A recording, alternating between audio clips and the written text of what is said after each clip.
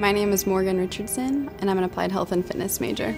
My advisor helps me in so many more ways than just academics. She always is genuinely interested in what's going on in my life and how she can take some of the stress out of college when you're away from family to have a figure like that in your life. I can't tell you how grateful I am for that.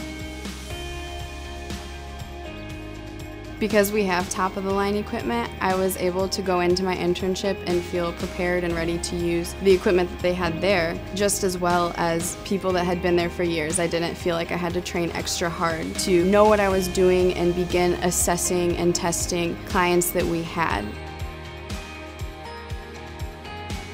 Indiana Wesleyan has been really proactive in helping me learn about myself and about my calling, I have learned what I'm good at and I've learned how to implement that in a job. And I've learned what I need to work harder at. And that just makes me feel so confident as I enter the workforce that I can be successful